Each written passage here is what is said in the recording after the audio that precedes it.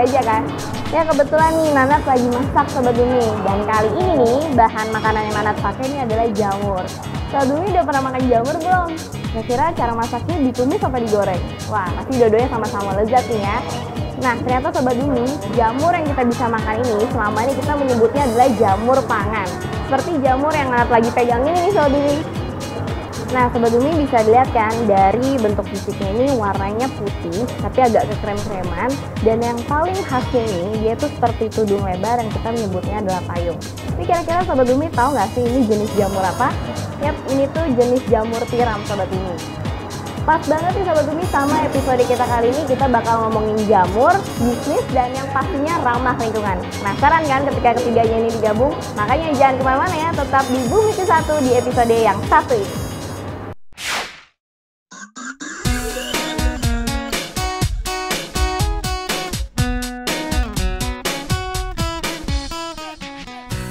Sobat Bumi, yang namanya cinta dan peduli kelestarian lingkungan bisa diwujudkan dalam berbagai cara.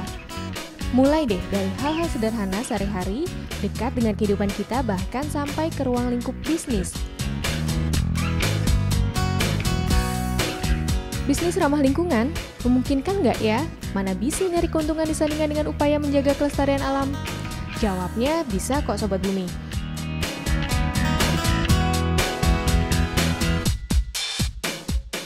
Konsep sederhananya sih disebut green business atau bisnis ramah lingkungan. Bisnis ramah lingkungan ini memiliki tiga tautan yaitu ekonomi, ekologi, dan sosial atau masyarakat yang nggak boleh saling lepas. Artinya, selain bisnis mengejar keuntungan ekonomi, namun wajib pula harus ada unsur pelestarian lingkungan dan manfaat bagi masyarakat.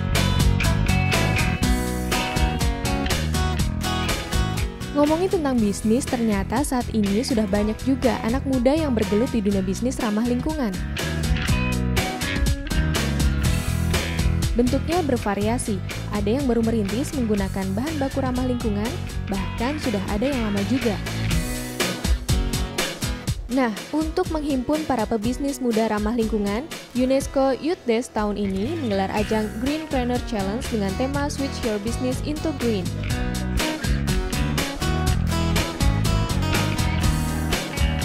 Tiga finalis berhasil menjadi juara dalam ajang ini. Satu di antaranya yaitu Mahendra Ega dengan bisnis Sego Jamur. Sampai di mana ya sisi ramah lingkungan bisnis Sego Jamur yang dijalankan Mahendra Ega? Lengkap ceritanya ada di episode Bumi ke satu kali ini.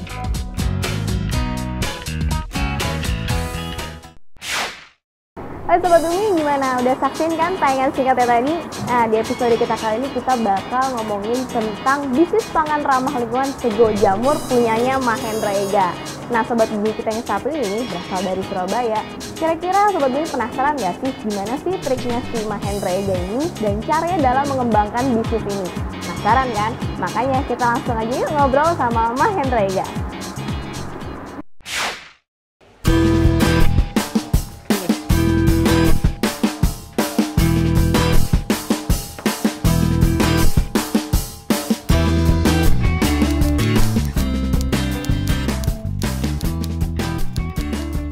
Ide bisnis ini latar belakangnya dari dua hal sih. Yang pertama nah dari sulitnya para petani jamur untuk memasarkan jamur panen jamurnya.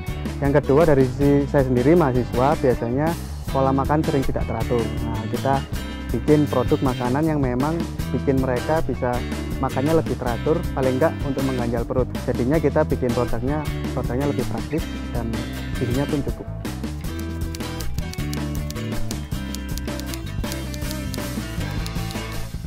kalau kita melihat dari green business uh, kita melihat salah satu faktornya kita lebih uh, kepada sustainable developmentnya. Kita uh, juga uh, dari sisi uh, bagaimana kita memberdayakan petani jamur itu dan bagaimana kita mengemasnya jadi produk yang bisa diterima sama mahasiswa memberikan solusi untuk mahasiswa juga memberikan solusi bagi petani. Dan kemudian secara nafasnya kita terus peduli dengan lingkungan juga bagaimana kita membuat program uh, di, uh, bekerja sama dengan Green Region Indonesia untuk membuat uh, mengkampanyekan juga diet kantong plastik uh, yang mana biasanya teman-teman kalau belanja pakai segon jamur ini pakai kantung plastik, kita tekan dengan menggunakan tas belanja dengan sistem membership itu.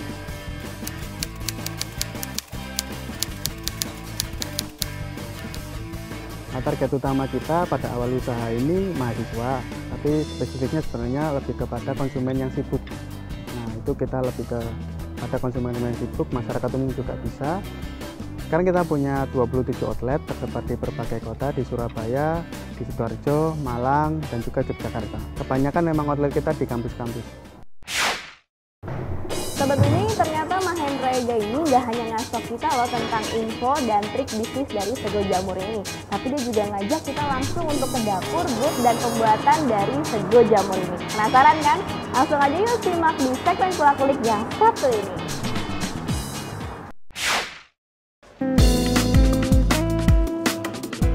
Oke, saya sekarang akan mempraktekkan bagaimana cara bikin segon jamur ini. Uh, yang pertama, jamur tiram potongan saya masukkan ke dalam toples adonan.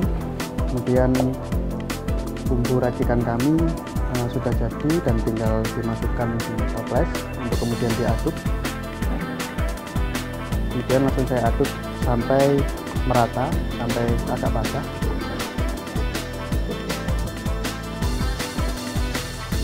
uh, bahan dasarnya ini dari jamur tiram jamur tiram putih yang kita ambil dari petani di Malang, Surabaya, uh, di Sidoarjo dan juga di Mojokerto. Setelah ini bumbunya merata, kita siapkan multipannya. Minyak dinyalakan.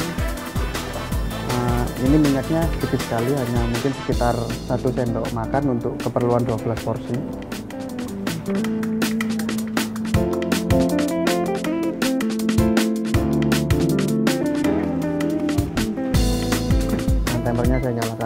12 menit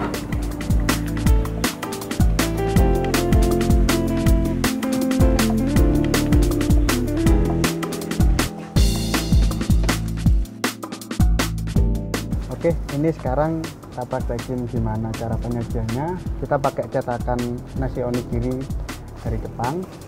Kita masukin nasinya sekarang. Terus jamurnya kita pakai es krim scoop biar sama takaran jamurnya. Nasi sama jamurnya ini dicetak pakai cetakan onigiri biar padat dan bisa dikemas dengan lebih praktis.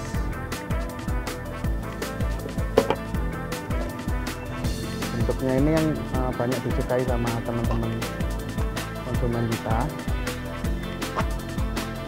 Nah setelah ini dipenuhi terus ini dicetak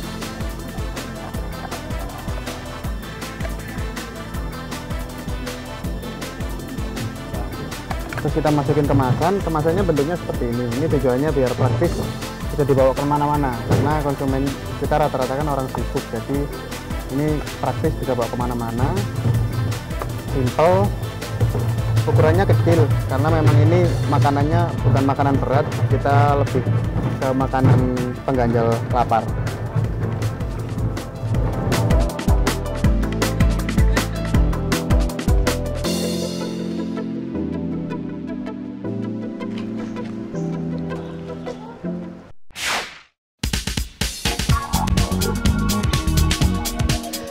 Sobat Bumi, saatnya info plus tentang jamur tiram yang jadi bahan utama selain nasi di Segon Jamur.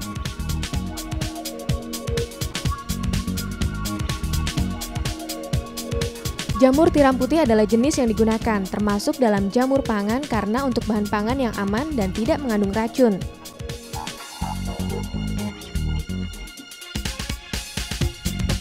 Jamur tiram dikenal juga dengan oyster mushroom karena bentuk tudungnya yang seperti tiram.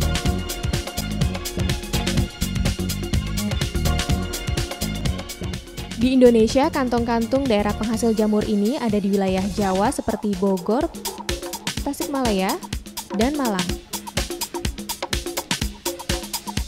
Proses budidayanya membutuhkan waktu satu setengah bulan dari pembibitan hingga panen.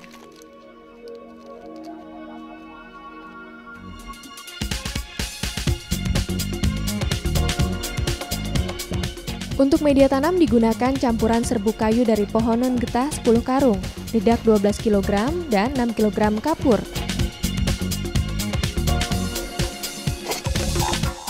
Semuanya dicampur lalu beri sedikit air agar lembab lalu dikemas dalam kantung.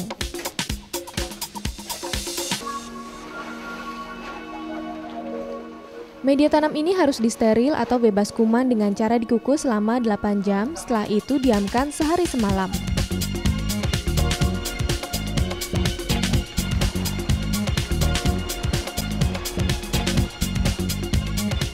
Setelah itu media tanam siap untuk diberi bibit jamur tiram,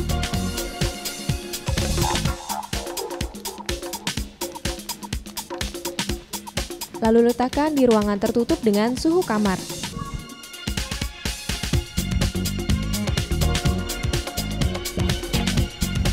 Faktor kebersihan penting banget dalam budidaya jamur tiram ini. Tanda jika bibit jamur sudah mulai tumbuh yaitu dalam media tanam akan berubah menjadi putih.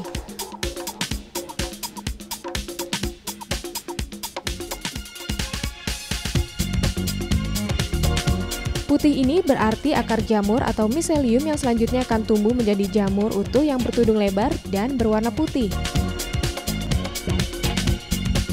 Sobat Bumi, jelas banget kan prosesnya?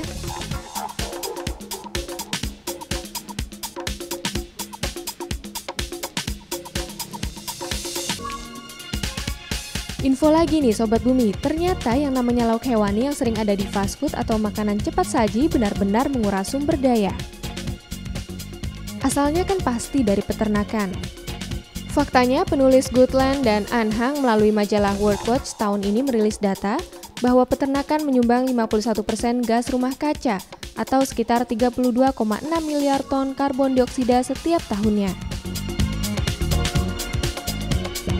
Banyaknya gas rumah kaca yang pasti nggak oke buat lingkungan ini dihasilkan dari limbah peternakan dan proses pengawetan serta transportasi produk hewaninya. Berarti oke banget ya ide segon jamur ini, sudah pakai jamur tiram yang protein nabati, plus pakai produk lokal juga yang nggak butuh banyak proses transportasi.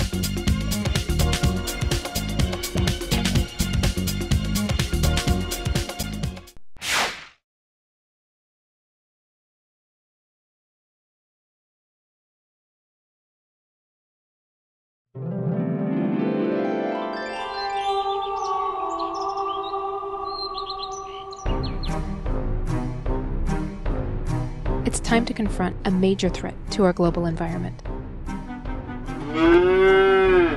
Cows. Yep.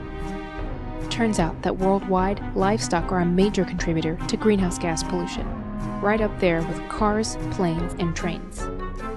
And at the rate we're producing beef worldwide, emissions from cows, along with other harmful practices in beef production, threaten to mess up our climate, land, and water.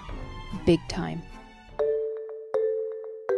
On average, Americans eat three times more meat than people in other countries. From the end of World War II to the mid 1970s, beef consumption per person doubled. The U.S. is now the largest beef producer in the world. Our beef industry is a powerhouse worth $74 billion a year and providing millions of jobs. Today, more and more Americans are choosing chicken and pork, even tofu. But much of the meat we eat is still beef. Let's look at an all American food, the hamburger. On average, we eat about three burgers per week. So let's see. If all 313 million Americans eat three burgers per week, that's 156 burgers per person per year. Altogether, that's more than 48 billion burgers every year.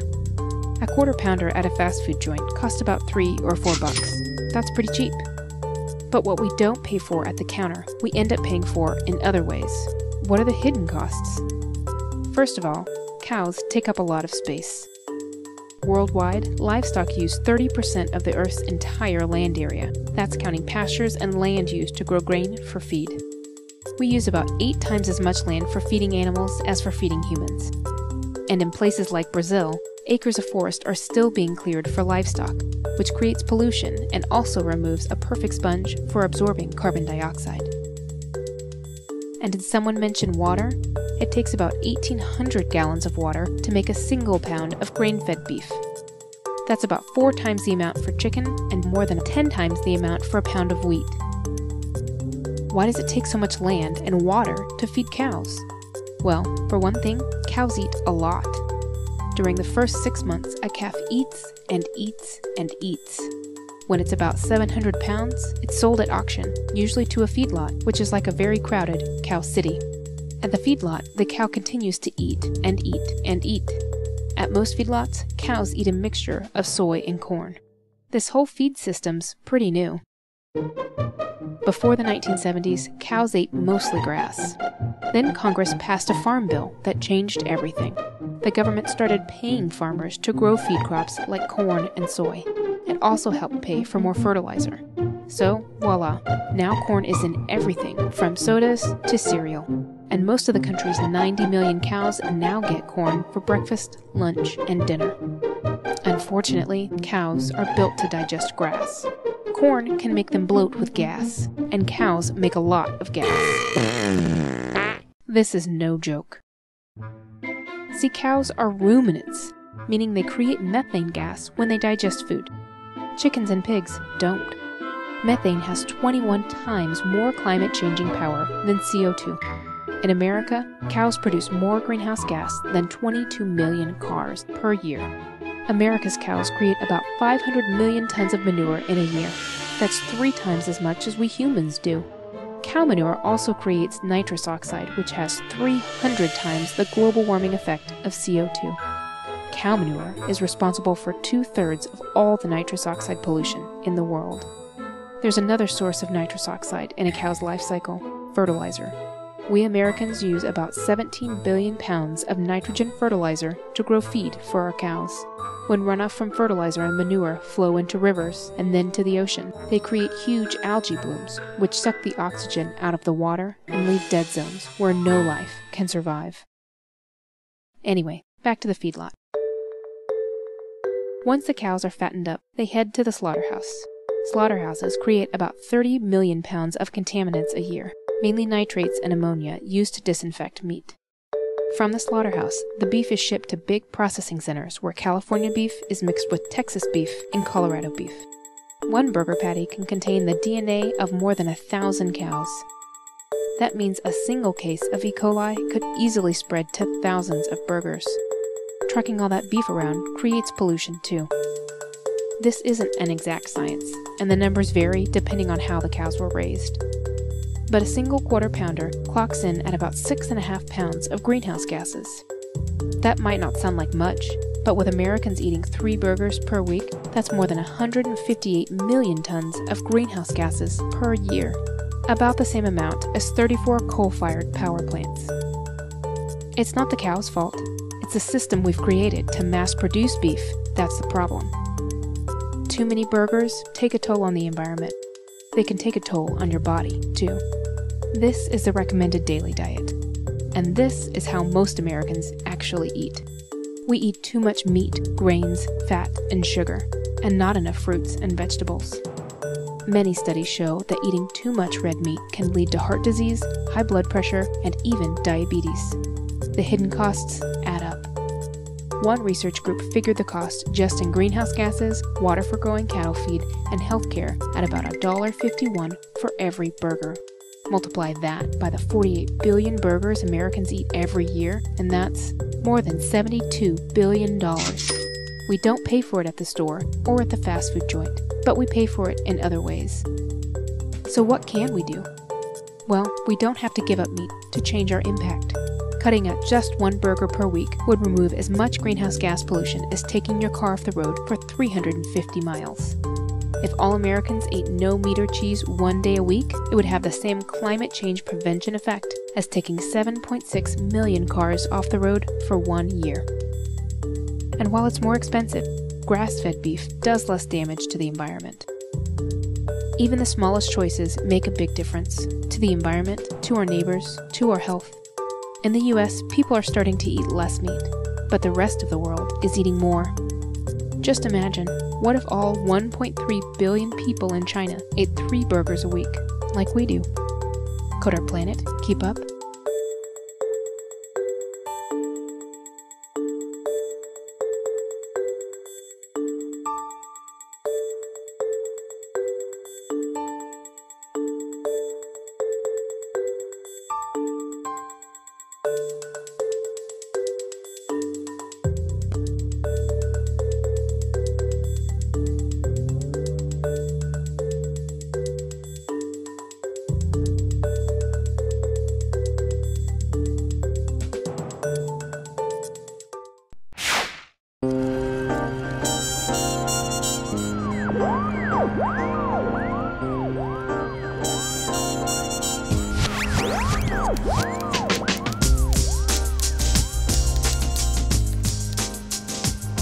Kenapa kami melakukan green business? Kenapa nggak yang lainnya? Karena kami sebenarnya memiliki keinginan sebenarnya nggak hanya sekedar mencari uang, tapi kita bisa dengan berbisnis bisa bermanfaatan bagi lingkungan dan juga bagi orang lain. Sebenarnya manusiawi ketika kita bisa memberikan manfaat, kita pasti puas batinnya. Itu saja.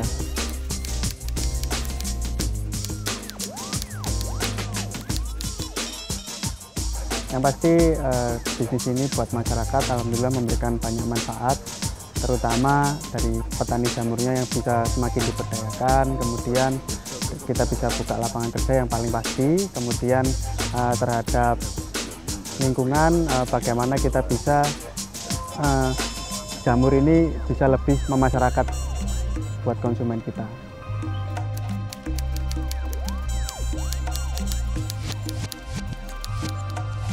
Ya, yang perlu kita bangun yang pasti dari sisi orangnya, gimana kita membangun attitude-nya, kemudian bagaimana kita melihat lingkungan, lingkungannya bisa kita lihat setelah apa yang bisa kita dapatkan dari situ dan akan bisa kita kembangkan, dan kemudian bagaimana kita bisa melihat dari sisi pengembangan dari si ekonominya, itu sih bagaimana kita bisa melihat celah